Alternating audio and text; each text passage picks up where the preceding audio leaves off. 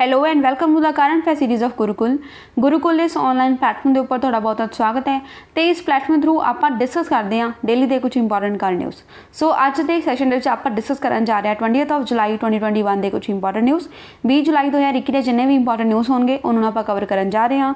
Start ਕਰਦੇ ਹਾਂ ਆਪਣੇ ਸੈਸ਼ਨ ਨੂੰ ਫਰਸਟ ਇੰਪੋਰਟੈਂਟ ਕੁਐਸਚਨ ਦੇ ਨਾਲ। ਫਰਸਟ ਆਪਣੇ ਕੋਲ ਜਿਹੜੀ ਨਿਊਜ਼ ਹੈ, ਉਹ ਰਿਲੇਟਡ ਹੈ ਇੱਕ ਸਕੀਮ ਦੇ। ਤੋਂ, ਆਪਾਂ ਦੱਸਣਾ ਕਿਸ ਇੰਸਟੀਟਿਊਸ਼ਨ ਨੇ ਇਹ ਸਕੀਮ ਬਣਾਈ ਹੈ। Which institution has launched a new scheme named faster? ਇਸ ਸਕੀਮ ਦਾ ਨਾਮ ਕੀ ਹੈ? Faster. ਔਰ ਇਹਨੂੰ ਆਪਾਂ ਕਹਿ ਸਕਦੇ ਆ fast and secure transmission of electronic records ਮਤਲਬ ਜਿਹੜੇ ਵੀ ਇਲੈਕਟ੍ਰੋਨਿਕ ਰਿਕਾਰਡਸ ਹੁੰਦੇ ਨੇ, ਮਤਲਬ ਜੋ ਵੀ ਆਪਾਂ ਜਿਹੜੇ ਲਾਈਕ ਕੋਈ ਮੇਲ ਸੈਂਡ ਕਰਦੇ ਆ ਕੋਈ ਜਜਮੈਂਟ ਸੈਂਡ ਕਰਦੇ ਆ ਕਿਸੇ ਨੂੰ ਕੋਈ ਪਾਰਟਿਕੂਲਰ ਡਾਕੂਮੈਂਟ ਸੈਂਡ ਕਰਦੇ ਆ ਇਲੈਕਟ੍ਰੋਨਿਕ ਮੀਡੀਆ ਦੇ ਥਰੂ ਉਹਨਾਂ ਨੂੰ ਆਪਾਂ ਫਾਸਟ ਸੈਂਡ ਕਰ ਸਕੀਏ ਪਲੱਸ ਸਿਕਿਉਰਲੀ ਸੈਂਡ ਕਰ ਸਕੀਏ। ਬਿਕੋਜ਼ ਅੱਜ ਕੱਲ ਦੇ ਟਾਈਮ ਤੇ ਜਿਹੜਾ ਡਿਜੀਟਲ ਡੇਟਾ ਹੈ ਡਿਜੀਟਲ ਜਿਹੜਾ ਵੀ ਆਪਾਂ ਪਲੇਟਫਾਰਮ ਹੈ, ਉਹ ਕਾਫੀ ਜ਼ਿਆਦਾ ਇਨਸਿਕਿਉਰ ਹੋ ਚੁੱਕਿਆ। ਕਾਫੀ ਜ਼ਿਆਦਾ ਟਾਈਮ ਟਾਈਮ ਤੇ ਜਿਹੜੇ ਵਾਇਰਸ ਦੇਖਣ ਨੂੰ ਮਿਲਦੇ ਨੇ। Virus in the sense COVID COVID 19 ਵਾਲਾ ਵਾਇਰਸ ਨਹੀਂ, ਬਿਮਾਰੀਆਂ ਵਾਲੇ ਵਾਇਰਸ ਨਹੀਂ ਬਟ ਜਿਹੜੇ ਇਲੈਕਟ੍ਰੋਨਿਕ ਡੇਟਾ ਤੇ ਹੁੰਦੇ ਨੇ ਅਟੈਕ ਜਿਵੇਂ ਕਿ ਜਿਹੜੇ ਮਾਲਵੇਅਰ ਵਗੈਰਾ ਹੁੰਦੇ ਆ ਐਟ ਪ੍ਰੈਜ਼ੈਂਟ ਜਿਹੜਾ ਇੱਕ ਪੈਗਾਸਸ ਵਾਇਰਸ ਵੀ ਜਿਹੜਾ ਚੱਲ ਰਿਹਾ ਨਿਊਜ਼ ਦੇ ਵਿੱਚ। ਸੋ ਇਸ ਤਰ੍ਹਾਂ ਦੇ ਕਾਫੀ ਜ਼ਿਆਦਾ ਵਾਇਰਸ ਹੁੰਦੇ ਆ, ਜਿਹੜੇ ਆਪਣੇ ਡੇਟਾ ਨੂੰ ਹੈਕ ਕਰ ਸਕਦੇ ਨੇ। ਇਹਨਾਂ ਹੈਕਰਸ ਤੋਂ ਬਚਾ ਕੇ ਪਲੱਸ ਫਾਸਟਲੀ ਆਪਾਂ ਕਿਸ ਤਰ੍ਹਾਂ ਜਿਹੜੀਆਂ ਅਲੱਗ-ਅਲੱਗ ਤਰ੍ਹਾਂ ਦੇ ਡੇਟਾ ਹੈ ਉਹਨਾਂ ਨੂੰ ਟ੍ਰਾਂਸਫਰ ਕਰ ਸਕਦੇ ਆ ਟ੍ਰਾਂਸਮਿਟ ਕਰ ਸਕਦੇ ਆ, ਉਹਦੇ ਲਈ ਜਿਹੜੀ ਸਕੀਮ ਹੈ ਉਸ ਨੂੰ ਬਣਾਇਆ। ਸੋ ਇਹ ਕਿਸ ਨੇ ਬਣਾਇਆ RBI Supreme Court of India Election Commission of India ਜਾਂ ਫਿਰ Central Board of Investigation Central Bureau of Investigation CBI ਤੋਂ ਜਿਹੜਾ ਇਹ ਪਾਰਟਿਕੂਲਰ ਸਕੀਮ ਹੈ ਫਾਸਟਰ ਇਸ ਨੂੰ ਬਣਾਇਆ ਹੈ ਆਪਣੀ ਸੁਪਰੀਮ ਕੋਰਟ ਆਫ ਇੰਡੀਆ ਨੇ। ਸੋ ਆਪਣਾ ਰਾਈਟ ਆਨਸਰ ਕੀ ਹੋਏਗਾ? ਆਪਸ਼ਨ ਬੀ ਕਿਉਂਕਿ ਸੁਪਰੀਮ ਕੋਰਟ ਨੇ ਇਸ ਨੂੰ ਬਣਾਇਆ ਇਸ ਦਾ ਬੇਸਿਕ ਪਰਪਸ ਕੀ ਹੈ ਕਿ ਜਿਹੜੇ ਵੀ ਜਜਮੈਂਟਸ ਹੁੰਦੇ ਨੇ ਸੁਪਰੀਮ ਕੋਰਟ ਦੇ ਉਹਨਾਂ ਨੂੰ ਇਲੈਕਟ੍ਰੋਨਿਕ ਮੀਡੀਆ ਦੇ ਥਰੂ ਹੀ ਟ੍ਰਾਂਸਫਰ ਕੀਤਾ ਜਾ ਸਕੇ ਤਾਂ ਕਿ ਜਿਹੜੇ ਕੇਸਸ ਨੇ ਉਹਨਾਂ ਦੀ ਸੁਣਵਾਈ ਟਾਈਮਲੀ ਹੋ ਸਕੇ। ਬਿਕੋਜ਼ ਆਪਾਂ ਦੇਖਦੇ ਹਾਂ ਅੱਜਕੱਲ ਦੇ ਟਾਈਮ ਤੇ ਇੰਨੀ ਜ਼ਿਆਦਾ ਪੋਪੂਲੇਸ਼ਨ ਹੈ, ਇੰਨੇ ਜ਼ਿਆਦਾ ਕ੍ਰਾਈਮਸ ਹੁੰਦੇ ਨੇ ਤੇ ਉਹਨਾਂ ਕ੍ਰਾਈਮਸ ਨੂੰ ਟਾਈਮਲੀ ਜਿਹੜਾ ਡਿਸੋਲਵ ਕਰਨ ਦੇ ਵਾਸਤੇ ਇਹਨਾਂ ਟਾਈਮ ਨਹੀਂ ਹੁੰਦਾ। ਬਿਕੋਜ਼ ਦੇਖੋ ਕਿ ਅਗਰ ਕੋਈ ਪਾਰਟਿਕੂਲਰ ਬੇਲ ਹੀ ਅਨਾਉਂਸ ਕਰਨੀ ਹੈ, ਮਤਲਬ ਬੇਲ ਹੀ ਅਲਾਟ ਕਰਨੀ ਕਿਸੇ ਪਰਸਨ ਨੂੰ, ਤਾਂ ਉਹਦੇ ਲਈ ਫਿਜ਼ੀਕਲੀ ਪਹਿਲਾਂ ਇਹ ਸੀਗਾ ਕਿ ਹੈਂਡਓਵਰ ਕਰਨੇ ਪੈਂਦੇ ਸੀ ਡਾਕੂਮੈਂਟ ਇੱਕ ਜਗ੍ਹਾ ਤੋਂ ਦੂਸਰੀ ਜਗ੍ਹਾ ਤੇ। ਬਟ ਨਾਓ ਅਗਰ ਉਹ ਇਲੈਕਟ੍ਰੋਨਿਕ ਮੀਡੀਆ ਦੇ ਥਰੂ ਹੀ ਟ੍ਰਾਂਸਫਰ ਹੋ ਜਾਣਗੇ ਕਰਾਂਗੇ ਤਾਂ ਉਹਦੇ ਨਾਲ ਉਹ ਟਾਈਮ ਸੇਵ ਹੋਏਗਾ, ਤਾਂ ਉਸੇ ਟਾਈਮ ਦੇ ਵਿੱਚ ਕੁਝ ਹੋਰ ਕੇਸਸ ਵੀ ਸੁਣਾਈ ਕੀਤੇ ਜਾ ਸਕਦੇ ਆ। ਸੋ ਇਸੇ ਦੇ ਲਈ ਸੁਪਰੀਮ ਕੋਰਟ ਆਫ ਇੰਡੀਆ ਨੇ ਇਸ ਪਾਰਟਿਕੂਲਰ ਸਕੀਮ ਨੂੰ ਲਾਂਚ ਕੀਤਾ ਹੈ ਜਿਸ ਦਾ ਨਾਮ ਹੈ ਫਾਸਟਰ ਸਕੀਮ ਚੀਫ ਜਸਟਿਸ ਜਿਹੜੇ ਆਪਣੇ ਇਸ ਟਾਈਮ ਦੇ ਹੈਗੇ ਨੇ, ਜੋ ਕਿ ਆਪਣੇ ਹੈਗੇ ਨੇ 48th ਚੀਫ ਜਸਟਿਸ ਤੋਂ ਆਪਾਂ ਨੂੰ ਇਹ ਵੀ ਕੁਐਸਚਨ ਬਣ ਸਕਦਾ ਰੀਸੈਂਟ ਜੋ ਵੀ ਐਗਜ਼ਾਮ ਆਉਣਗੇ ਬਿਕੋਜ਼ ਅਪ੍ਰੈਲ ਦੇ ਵਿੱਚ ਹੀ ਇਹਨਾਂ ਦੀ ਇਹ ਅਪਾਇੰਟਮੈਂਟ ਹੋਈ ਹੈ ਚੀਫ ਜਸਟਿਸ ਆਫ ਇੰਡੀਆ ਹੈਗੇ ਨੇ ਐਨਵੀ ਰਮਨਾ 48th ਚੀਫ ਜਸਟਿਸ ਹੈਗੇ ਨੇ ਆਪਣੇ ਇੰਡੀਆ ਦੇ। ਇਸ ਤੋਂ ਪਹਿਲਾਂ ਕੌਣ ਹੈਗੇ ਸੀ? ਉਹ ਹੈਗੇ ਸੀ ਐਸ ਏ ਬੋਬੜੇ ਜੋ ਕਿ ਜਿਹੜੇ ਕਿ 47th ਚੀਫ ਜਸਟਿਸ ਸੀਗੇ। ਇਸ ਤੋਂ ਪਹਿਲਾਂ ਹੈਗੇ ਸੀ ਰੰਜਨ ਗੋਗੋਈ। ਸੋ ਇਹ ਕੁਝ ਤਿੰਨ ਜਿਹੜੇ ਪਾਸਟ ਆਪਣੇ ਚੀਫ ਜਸਟਿਸ ਆਫ ਇੰਡੀਆ ਰਹਿ ਚੁੱਕੇ ਨੇ। ਨਾਓ ਐਟ ਪ੍ਰੈਜ਼ੈਂਟ ਦੇ ਚੀਫ ਜਸਟਿਸ ਹੈਗੇ ਨੇ ਐਨਵੀ ਰਮਨਾ ਉਹਨਾਂ ਨੇ ਇਹ ਸਕੀਮ ਲਾਂਚ ਕੀਤੀ ਹੈ ਜਿਸ ਦਾ ਨਾਮ ਹੈ ਫਾਸਟਰ ਤੋਂ ਫਾਸਟਰ ਦੀ ਫੁੱਲ ਫਾਰਮ ਵੀ ਆਪਾਂ ਦੇਖ ਹੀ ਚੁੱਕੇ ਹਾਂ fast and secure transmission of electronic records under this scheme the Supreme Court will instantly transmit bail and other orders to the jail authorities district court and high court ਮਤਲਬ ਇਸ scheme ਦੇ under ਜਿਹੜੀ supreme court ਹੈ, ਉਹ electronic media ਦੇ through ਹੀ ਕੋਈ ਅਗਰ ਕਿਸੇ ਪਰਸਨ ਦੀ ਬੇਲ ਹੋਈ ਆ, ਉਹਦੇ ਡਾਕੂਮੈਂਟ ਜੇਲ ਅਥਾਰਟੀਜ਼ ਨੂੰ ਪਹੁੰਚਾ ਸਕਦੀ ਹੈ ਪਲੱਸ ਡਿਸਟ੍ਰਿਕਟ ਕੋਰਟ ਨੂੰ ਹਾਈ ਕੋਰਟ ਨੂੰ, ਮਤਲਬ ਜਿਸ ਵੀ ਤਰ੍ਹਾਂ ਦੇ ਲਾਈਕ ਜਿੱਥੇ ਲਿਖਿਆ ਹੋਇਆ ਨਾ ਕਿ ਬੇਲ ਵਾਲੇ ਜਾਂ ਫਿਰ ਕੋਈ ਹੋਰ ਆਰਡਰ ਜੋ ਕਿ ਸੁਪਰੀਮ ਕੋਰਟ ਨੇ ਇਸ਼ੂ ਕੀਤੇ ਨੇ, ਉਹਨਾਂ ਆਰਡਰਸ ਨੂੰ ਟਾਈਮਲੀ ਤੇ ਫਾਸਟ ਸਿਕਿਉਰ ਵੇ ਦੇ ਨਾਲ ਜੇਲ ਅਥਾਰਟੀਜ਼ ਡਿਸਟ੍ਰਿਕਟ ਕੋਰਟ ਤੇ ਹਾਈ ਕੋਰਟ ਦੇ ਤੱਕ ਪਹੁੰਚਾਇਆ ਜਾ ਸਕਦਾ ਹੈ।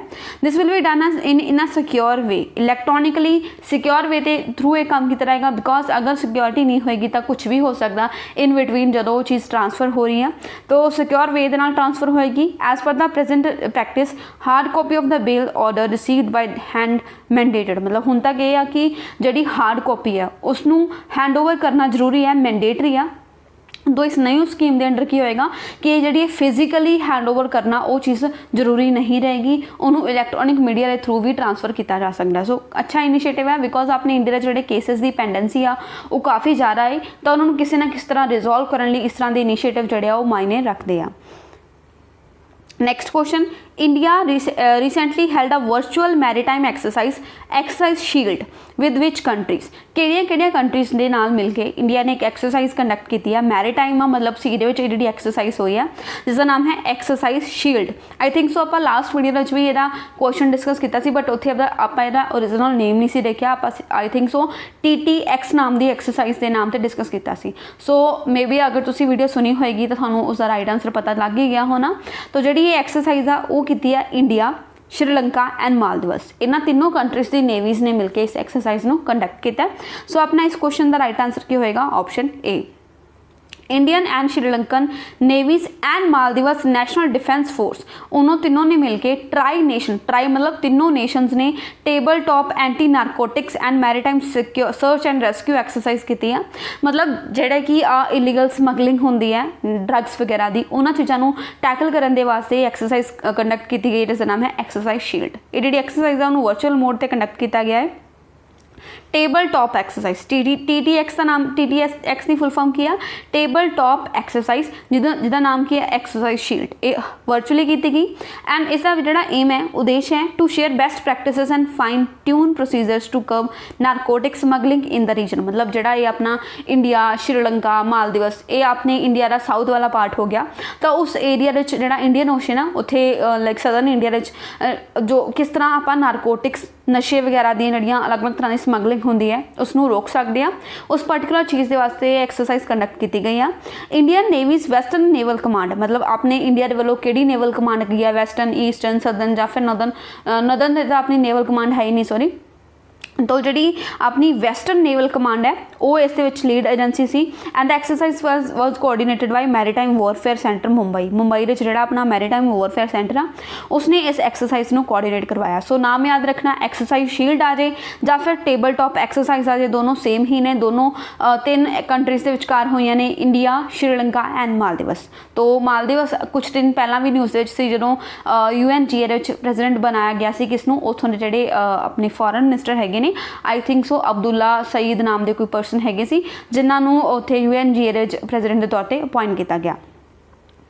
So next question Guerra ਸਾਰਾਬਾਈ who was in news recently was associated with which field तो गिरा साराभाई एक पर्सनैलिटी है काफ़ी फेमस पर्सनैलिटी है सो उन्होंने रिसेंटली डेथ हो चुकी है अब दसना किस फील्ड ना बिलोंग करते सी स्पोर्ट्स आर्कीटैक्चर पॉलिटिक्स या फिर बिजनेस तो गिरा साराभाई का काफ़ी इंपॉर्टेंट रोल रहा है अपने एक इंडिया एक इंपॉर्टेंट इंस्टीट्यूशन डिजाइन करने so by profession she was an architecture वो आर्कीटैक्चर सी तो अपना राइट आंसर क्या हो गया option B Mira Sarabhai veteran architect and designer तो काफ़ी अच्छी आर्कीटैक्ट ਤੇ ਡਿਜ਼ਾਈਨਰ ਸੀ ਉਹਨਾਂ ਦੀ ਡੈਥ ਹੋ ਚੁੱਕੀ ਹੈ 97 ਇਅਰਸ ਦੀ ਏਜ ਵਿੱਚ ਮਤਲਬ ਆਪਾਂ ਇਹ ਨਹੀਂ ਕਹਾਂਗੇ ਕਿ ਕੋਈ ਹਾਰਟ ਅਟੈਕ ਹੋਇਆ ਜਾਂ ਫਿਰ ਕੋਈ ਕੋਵਿਡ 19 ਦੀ ਡਿਸੀਜ਼ ਕਰਕੇ ਹੋਈ ਹੈ ਬਟ ਉਹਨਾਂ ਦੇ ਕੋਈ ਏਜ ਰਿਲੇਟਡ ਇਲਨੈਸ ਸੀ ਕਿਉਂਕਿ ਕਾਫੀ ਜ਼ਿਆਦਾ ਏਜ ਹੋ ਚੁੱਕੀ ਹੈ ਤਾਂ ਉਸੇ ਕਰਕੇ ਉਹਨਾਂ ਦੀ ਡੈਥ ਹੋ ਚੁੱਕੀ ਹੈ architect played a vital role in founding the national institute of design ਤੋਂ ਉਹਨਾਂ ਨੇ ਇੱਕ ਇੰਪੋਰਟੈਂਟ ਇੰਸਟੀਟਿਊਸ਼ਨ ਜਿਸ ਦਾ ਨਾਮ ਹੈ ਨੈਸ਼ਨਲ ਇੰਸਟੀਚਿਊਟ ਆਫ ਡਿਜ਼ਾਈਨ ਉਸ ਨੂੰ ਡਿਜ਼ਾਈਨ ਕਰਨ ਦੇ ਲਈ ਉਸ ਤੇ ਆਰਕੀਟੈਕਟ ਤਿਆਰ ਕਰਨ ਲਈ ਕਾਫੀ ਇੰਪੋਰਟੈਂਟ ਰੋਲ ਪਲੇ ਕੀਤਾ। ਉਹਨਾਂ ਨੇ ਆਪਣੇ ਜਿਹੜੇ ਪੂਰੇ ਵਰਲਡ ਦੇ ਸਭ ਤੋਂ ਅੱਛੇ ਟਾਪ ਮੋਸਟ ਲੋਕਾਂ ਨੂੰ ਲੈ ਕੇ ਆਂਦਾ, ਇਸ ਫੈਕਲਟੀ ਨੂੰ ਡਿਵੈਲਪ ਕਰਨ ਵਾਸਤੇ, ਮਤਲਬ ਐਸ ਐਜ਼ ਅ ਫੈਕਲਟੀ ਇਸ ਪਾਰਟਿਕੂਲਰ ਇੰਸਟੀਟਿਊਸ਼ਨ ਨੂੰ ਡਿਵੈਲਪ ਕਰਨ ਵਾਸਤੇ। She also established Calico Museum of textile ਤੋਂ ਉਹਨਾਂ ਨੇ ਇਹ ਕੈਲੀਕੋ ਮਿਊਜ਼ੀਅਮ ਆਫ ਟੈਕਸਟਾਈਲ ਵੀ ਬਣਾਇਆ ਵਿਚ houses some of the rare specimens of textile from different parts of the country and the world ਤੋਂ ਜਿਹੜਾ ਇਹ ਕੈਲੀਕੋ ਮਿਊਜ਼ੀਅਮ ਆਫ ਟੈਕਸਟਾਈਲਸ ਹੈ, ਉੱਥੇ ਪੂਰੇ ਵਰਲਡ ਦੇ ਅਲੱਗ-ਅਲੱਗ ਜਗ੍ਹਾ ਤੋਂ ਰੇਅਰ ਸਪੈਸੀਮਨਸ ਰੱਖੇ ਗਏ ਨੇ ਟੈਕਸਟਾਈਲਸ ਦੇ ਮਤਲਬ ਜੋ ਵੀ ਪੁਰਾਣੀ ਆਪਣੀ ਹਿਸਟਰੀ ਦੇ ਇੰਪੋਰਟੈਂਟ ਪੁਆਇੰਟ ਆਫ View ਤੋਂ ਕੋਈ ਆਪਣੇ ਪੂਰੇ ਵਰਲਡ ਦੇ ਵਿੱਚੋਂ ਅਲੱਗ-ਅਲੱਗ ਤਰ੍ਹਾਂ ਦੇ ਸਪੈਸੀਮਨਸ ਹੈਗੇ ਨੇ ਟੈਕਸਟਾਈਲਸ ਦੇ, ਉਹਨਾਂ ਸਭ ਨੂੰ ਇਸ ਕੈਲੀਕੋ ਮਿਊਜ਼ੀਅਮ ਆਫ ਟੈਕਸਟਾਈਲਸ ਦੇ ਵਿੱਚ ਰੱਖਿਆ ਗਿਆ। ਤਾਂ ਇਹ ਸਭ ਵੀ ਕਿਸ ਚੀਜ਼ ਇਸ ਦੀ ਦੇਣ ਹੈ, ਉਹ ਹੈ ਗੀਰਾ ਸਾਰਾਬਾਈ। ਤੋਂ ਅਗਰ ਤੁਸੀਂ ਪਿਕਚਰ ਦੇਖਣਾ ਚਾਹੋ, ਦੇਖ ਸਕਦੇ ਹੋ ਸ਼ੀ ਇਜ਼ ਗੀਰਾ ਸਾਰਾਬਾਈ। ਜਿਨ੍ਹਾਂ ਦੀ ਰੀਸੈਂਟਲੀ ਡੈਥ ਹੋ ਚੁੱਕੀ ਹੈ। ਸੋ ਸੋ ਬਾਈ ਨੇਮ ਤੁਹਾਨੂੰ ਪੁੱਛਿਆ ਜਾ ਸਕਦਾ ਕਿ ਇਹ ਪਾਰਟਿਕੂਲਰ ਪਰਸਨੈਲਿਟੀ ਜਿਹੜੀ ਕਿਸ ਫੀਲਡ ਨੂੰ ਬਿਲੋਂਗ ਕਰਦੇ, ਤੁਹਾਡੇ ਕੋਲ ਚਾਰ ਆਪਸ਼ਨਸ ਹੋਣਗੇ। Now you have to click the right answer ਤੋਂ ਅਗਰ ਤੁਸੀਂ ਇਹ ਜਿਹੜਾ ਕੁਐਸਚਨ ਕਰਿਆ ਹੋਏਗਾ, ਤਾਂ ਤੁਹਾਨੂੰ ਈਜ਼ਲੀ ਇਹਦਾ ਆਨਸਰ ਜਿਹੜਾ ਕਲਿੱਕ ਹੋ ਜਾਏਗਾ ਕਿ she was architecture and architect and designer next Amrabad tiger reserve which was making news recently, is located in which state or UT?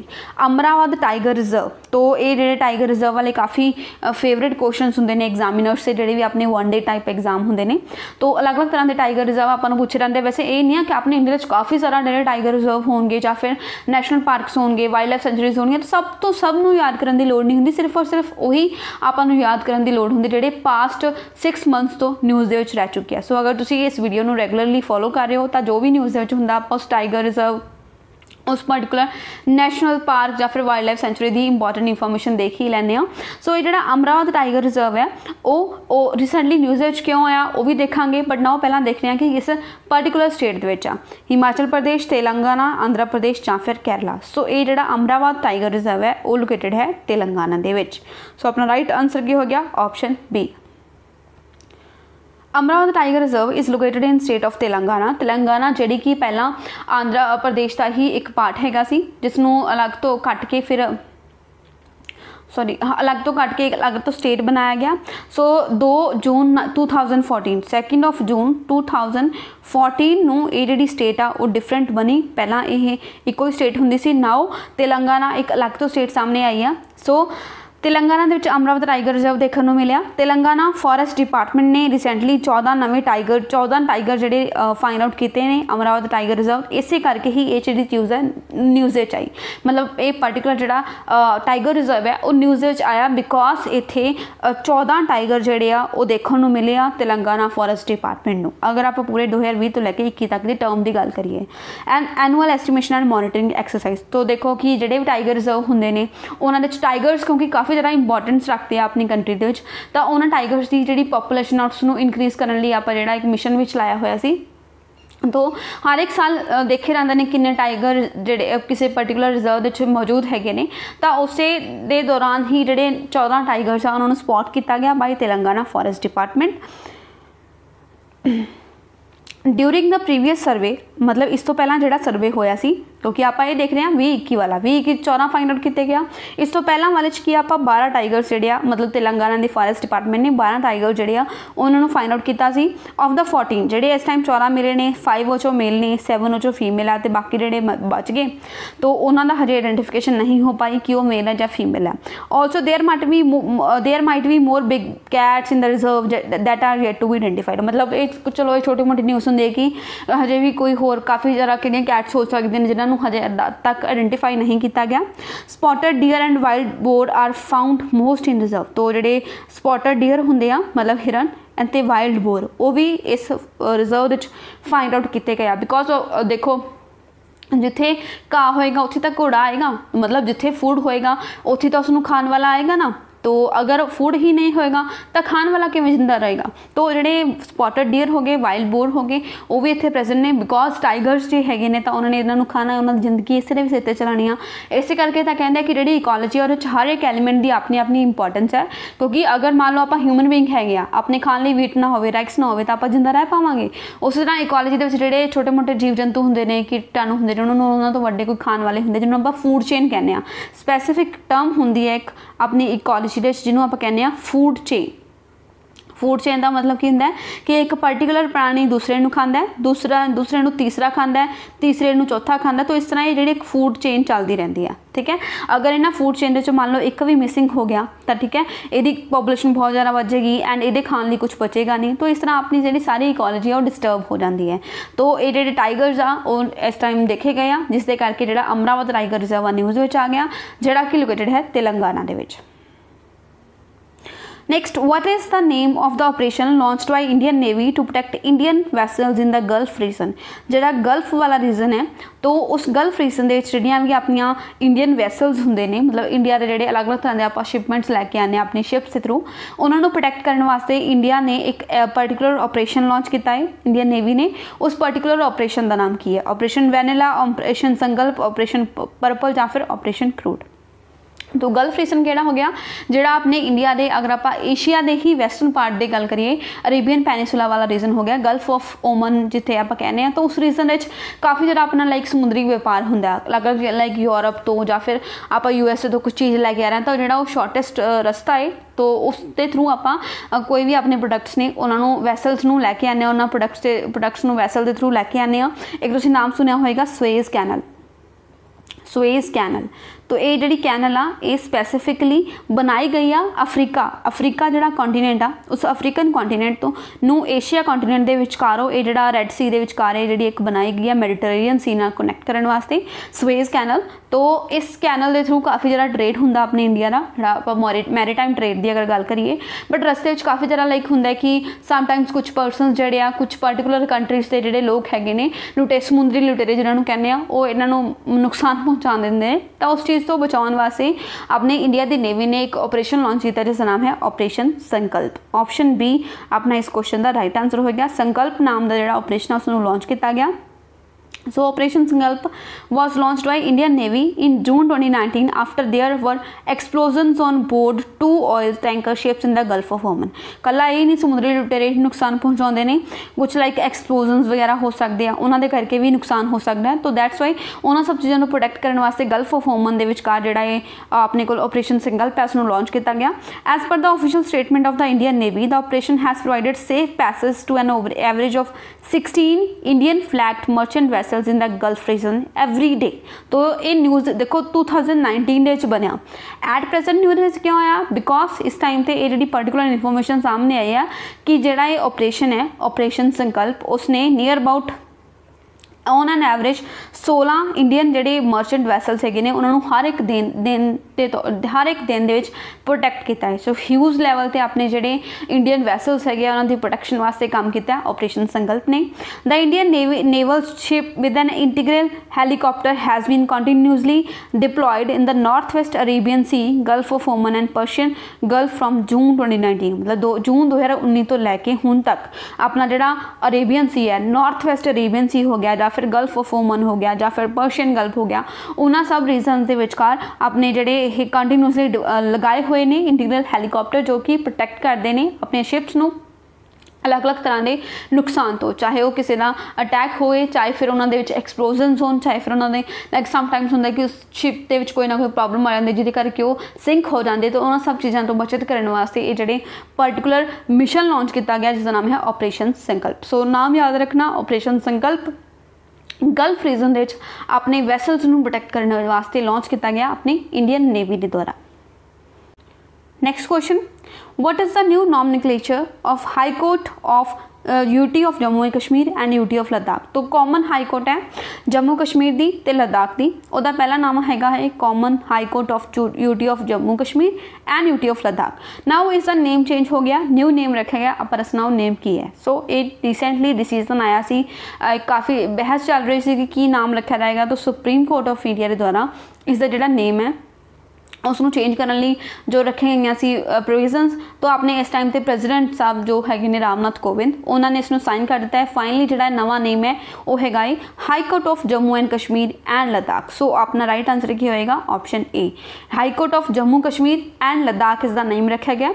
So long and cumbersome nomenclature, common high court of duty of jammu kashmir and duty of ladakh has been changed to high court of jammu kashmir and Ladakh the order was notified by department of justice in the law ministry ਮਤਲਬ ਜਿਹੜਾ order ਹੈ ਉਸ ਨੂੰ ਕਿਸ ਨੇ notify ਕੀਤਾ law ministry ਦੇ under ਇੱਕ ਡਿਪਾਰਟਮੈਂਟ ਹੈਗਾ ਡਿਪਾਰਟਮੈਂਟ ਆਫ ਜਸਟਿਸ ਉਹਨਾਂ ਨੇ ਇਸ ਨੂੰ ਨੋਟੀਫਾਈ ਕੀਤਾ ਪ੍ਰੈਜ਼ੀਡੈਂਟ ਰਾਮਨਾਥ ਕੋਵਿੰਦ ਨੇ ਇਸ ਨੂੰ ਸਾਈਨ ਕੀਤਾ sign the Jammu and Kashmir reorganisation removal of difficulties order 2021 ਤੋਂ ਇਹ ਜਿਹੜਾ 2021 ਦਾ ਇੱਕ ਬਿੱਲ ਸੀਗਾ ਜਿਹਦਾ ਨਾਮ ਹੈ Jammu Kashmir reorganisation removal of difficulties order ਤੋਂ ਜਿਹਨੇ ਇਹਦਾ origignal ਨੇਮ ਜਿਹੜਾ ਸਪੈਲਡ ਕੀਤਾ ਗਿਆ ਸੀ ਉਸ ਨੂੰ ਚੇਂਜ ਕਰਕੇ ਨਵਾਂ ਪਰ ਰੱਖਤਾ high court of Jammu Kashmir and Ladakh ਇਹ ਚੀਜ਼ ਇੰਪੋਰਟੈਂਟ ਕਿਉਂ ਆ? ਬਿਕੋਜ਼ ਆਪਣੇ ਇੰਡੀਅਨ ਸਟੇਟ ਦੇ ਵਿੱਚ ਤਾਂ ਕਾਫੀ ਜ਼ਿਆਦਾ ਲਾਈਕ ਹਰ ਇੱਕ ਸਟੇਟ ਦੇ ਵਿੱਚ ਆਲਮੋਸਟ ਹਾਈ ਕੋਰਟ ਹੁੰਦੀ ਹੈ। ਜਿਵੇਂ ਬਟ ਕੁਝ ਸਟੇਟਸ ਜਿਵੇਂ ਕਿ ਪੰਜਾਬ ਤੇ ਹਰਿਆਣਾ ਦੀ ਇੱਕ ਹੈ ਚੰਡੀਗੜ੍ਹ, ਤਾਂ ਉਸ ਤਰ੍ਹਾਂ ਕੁਝ ਸਟੇਟਸ ਦੀ ਇਦਾਂ ਹੁੰਦੀ ਹੈ ਕਿ ਇਕੱਠੀ ਹਾਈ ਕੋਰਟ ਹੁੰਦੀ ਹੈ ਬਟ ਅਗਰ ਆਪਾਂ ਯੂਨੀਅਨ ਟੈਰੀਟਰੀਜ਼ ਦੀ ਗੱਲ ਕਰੀਏ, ਉਹਨਾਂ ਦੀ ਅਲੱਗ ਤੋਂ ਹਾਈ ਕੋਰਟ ਹੋਣਾ ਕੋਈ ਕੰਪਲਸ਼ਨ ਨਹੀਂ ਹੁੰਦੀ। ਸਮ ਟਾਈਮ ਜਿਵੇਂ ਕਿ ਆਪਣਾ ਅੰਡੇਵਾਨ ਨਿਕੋਬਾਰ ਹੈ, ਉਹਨੂੰ ਵੈਸਟ ਬੰਗਾਲ ਦੀ ਜਿਹੜੀ ਕੋਲਕਾਤਾ ਹਾਈ ਕੋਰਟ ਦੇ ਨਾਲ ਜੋੜਿਆ ਹੋਇਆ। ਤਾਂ ਇਸ ਤਰ੍ਹਾਂ ਜਿਹੜੀਆਂ ਹਾਈ ਕੋਰਟਸ ਅਲੱਗ-ਅਲੱਗ ਦੇ ਨਾਲ ਜੋੜਿਆ ਹੁੰਦਾ ਬਟ ਨਾਓ ਆਪਣੇ ਇੰਡੀਆ ਵਿੱਚ ਦੋ ਯੂਟੀਸ ਇਦਾਂ ਦੀਆਂ ਨੇ, ਤਿੰਨ ਯੂਟੀਸ ਹੋ ਗਈਆਂ ਸੌਰੀ ਜਿਨ੍ਹਾਂ ਦੀ ਆਪਣੀ ਆਪਣੀ ਹਾਈ ਕੋਰਟ ਹੋ ਗਈ। ਇੱਕ ਤਾਂ ਹੋ ਗਿਆ ਦਿੱਲੀ ਦਿੱਲੀ ਆਪਣੀ ਜਿਹੜੀ ਨੈਸ਼ਨਲ ਕੈਪੀਟਲ ਹੈ, ਤਾਂ ਉਸ ਤੇ, ਉਸ ਦੀ ਆਪਣੀ ਹਾਈ ਕੋਰਟ ਹੈ। ਨਾਓ ਜੰਮੂ ਕਸ਼ਮੀਰ ਦੀ ਵੀ ਆਪਣੀ ਹਾਈ ਕੋਰਟ ਹੈ ਤੇ ਲਦਾਖ ਦੀ ਵੀ ਆਪਣੀ ਹਾਈ ਕੋਰਟ ਹੈ। ਤੇ ਤਿੰਨੋਂ ਯੂਟੀਜ਼ ਦੀ ਆਪਣੀ ਹਾਈ ਕੋਰਟ ਹੋਗੀ ਦਿੱਲੀ ਦੀ ਆਪਣੀ ਕੱਲੀ ਕੱਲੀ ਹੈ ਐਂਡ ਜੰਮੂ ਕਸ਼ਮੀਰ ਤੇ ਲਦਾਖ ਦੋਨਾਂ ਦੀ ਇੱਕ ਹਾਈ ਕੋਰਟ ਹੈ ਜਿਸ ਦਾ ਨਾਮ ਕੀ ਹੈ, ਆਪਾਂ ਦੇਖ ਹੀ ਲਿਆ। High court of Jammu Kashmir and Ladakh so ਇਹ ਵੀ ਇੰਪੋਰਟੈਂਟ ਕੁਐਸਚਨ ਆਪਾਂ ਨੂੰ ਐਗਜ਼ਾਮ ਦੇ ਵਿੱਚ ਬਣ ਸਕਦਾ ਹੈ। Next Kerala police has launched a new initiative called pink protection ਤੋ ਕੇਰਲਾ ਦੀ ਹਾਈ ਕੋਰਟ ਨੇ ਪਿੰਕ ਪ੍ਰੋਟੈਕਸ਼ਨ ਨਾਮ ਦਾ ਸੌਰੀ ਕੇਰਲਾ ਦੀ ਪੁਲਿਸ ਨੇ ਪਿੰਕ ਪ੍ਰੋਟੈਕਸ਼ਨ ਨਾਮ ਦਾ ਇੱਕ ਜਿਹੜਾ ਪ੍ਰੋਜੈਕਟ ਹੈ ਉਸ ਨੂੰ ਲਾਂਚ ਕੀਤਾ ਹੈ ਕਿਸ ਚੀਜ਼ ਵਾਸਤੇ for the protection of woman in public private and digital space ਮਤਲਬ ਔਰਤਾਂ ਪਬਲਿਕ ਲਾਈਫ ਦੇ ਵਿੱਚ ਤੇ ਉਹਨਾਂ ਦੀ ਪ੍ਰਾਈਵੇਟ ਲਾਈਫ ਦੇ ਵਿੱਚ ਪਲੱਸ ਡਿਜੀਟਲ ਮਤਲਬ ਜਦੋਂ ਆਨਲਾਈਨ ਡਾਟਾ ਯੂਜ਼ ਕਰ ਰਹੀਆਂ ਨੈਟਵਰਕ ਯੂਜ਼ ਕਰ ਰਹੀਆਂ ਨੇ ਇੰਟਰਨੈਟ ਯੂਜ਼ ਕਰ ਰਹੀਆਂ, ਤਾਂ ਉਸ ਟਾਈਮ ਤੇ ਵੀ ਉਹ ਜਿਹੜੀ ਉਹਨਾਂ ਦੀ ਪ੍ਰੋਟੈਕਸ਼ਨ ਕੀਤੀ ਜਾ ਸਕੇ ਉਸ ਦੇ ਲਈ ਜਿਹੜਾ ਇਹ ਪ੍ਰੋਜੈਕਟ ਲਾਂਚ ਕੀਤਾ ਗਿਆ। The project has how many components ਇਸ ਪ੍ਰੋਜੈਕਟ ਦੇ ਕਿੰਨੇ ਕੰਪੋਨੈਂਟਸ ਹੈਗੇ ਨੇ? ਸੋ ਸਿੱਧਾ ਸਿੱਧਾ ਆਪਾਂ ਨੂੰ ਇਸ ਦਾ ਕੁਐਸਚਨ ਬਣ ਸਕਦਾ ਹੈ ਐਗਜ਼ਾਮ ਵਿੱਚ ਕਿ ਪਿੰਕ ਪ੍ਰੋਟੈਕਸ਼ਨ ਕਿਸਨੇ ਲਾਂਚ ਕੀਤਾ ਹੈ? तो अपन स्टेट्स के ऑप्शन गिवन होंगे। अगर आप इस पढ़िया होगा तो अपन ईजिली समझ आ जाएगा कि केरला ने इस लॉन्च किया सो इस टोटल किन्ने कंपोनेंट्स ने? सिक्स सैवन एट या फिर टेन टोटल ये पिंक प्रोटेक्शन टेन कंपोनेंट्स काम करेंगे। सो अपना राइट आंसर क्या होगा option D The Kerala police has launched new initiative called Pink Protection Protection Project for Protection of Women in Public, Private and Digital Space. For the project, मतलब इस project के वास्ते 10 cars 40 two wheelers including bullet bikes ਹੋ ਗਈਆਂ 20 bike cycles ਹੋ ਗਏ, ਉਹ ਸਭ ਕੁਝ ਅਲੋਟ ਕੀਤੇ ਗਿਆ ਤਾਂ ਕਿ ਔਮਨ ਨੂੰ ਜਦੋਂ ਵੀ ਲੋੜ ਪਵੇ ਤਾਂ ਉਹ ਇਸ, ਇਹਨਾਂ ਨੂੰ ਐਕਸੈਸ ਕਰ ਸਕਣ। This project aims to prevent dowry related issues ਮਤਲਬ ਜੋ ਵੀ ਦਹੇਜ ਪ੍ਰਥਾ ਦੇ ਰਿਗਾਰਡਿੰਗ ਕੁਝ ਇਸ਼ੂਸ ਹੁੰਦੇ ਨੇ ਸਾਈਬਰ ਬੁਲਿੰਗ ਹੁੰਦੀ ਹੈ ਔਮਨ ਦੀ ਹਿਊਮਿਲੇਸ਼ਨ ਹੁੰਦੀ ਹੈ ਪਬਲਿਕ ਪਲੇਸਸ ਤੇ, ਉਹਨਾਂ ਸਭ ਚੀਜ਼ਾਂ ਨੂੰ ਰੋਕਿਆ ਜਾ ਸਕੇ। ਇਸ ਪ੍ਰੋਜੈਕਟ ਦੇ ਟੋਟਲ 10 ਕੰਪੋਨੈਂਟਸ ਹੋਣਗੇ ਜੋ ਕੰਮ ਕਰਨਗੇ ਔਮਨ ਦੀ ਸੇਫਟੀ ਵਾਸਤੇ। ਸੋ ਇੰਪੋਰਟੈਂਟ ਕੁਐਸਚਨ ਹੈ। ਆਪਾਂ ਨੂੰ ਸਿੱਧਾ ਸਿੱਧਾ ਪੇਪਰ ਦੇ ਵਿੱਚ ਕੁਐਸਚਨ ਬਣ ਸਕਦਾ ਕਿ ਪਿੰਕ ਪ੍ਰੋਟੈਕਸ਼ਨ ਨਾਮ ਦਾ ਜਿਹੜਾ ਸਕੀਮ ਪ੍ਰੋਜੈਕਟ ਹੈ ਉਸ ਨੂੰ ਕਿਸਨੇ ਲਾਂਚ ਕੀਤਾ ਸੋ ਉਹ ਲਾਂਚ ਕੀਤਾ ਹੈ ਕੇਰਲਾ ਨੇ। ਤੋਂ ਕੇਰਲਾ ਦੀ ਗੱਲ ਹੋਈ ਹੈ, ਤਾਂ ਕੇਰਲਾ ਦੇ ਕੁਝ ਇੰਪੋਰਟੈਂਟ ਫੈਕਟ ਵੀ ਦੇਖ ਲੈਨੇ ਆ ਸੀਐਮ ਕੌਣ ਹੈਗੇ ਨੇ?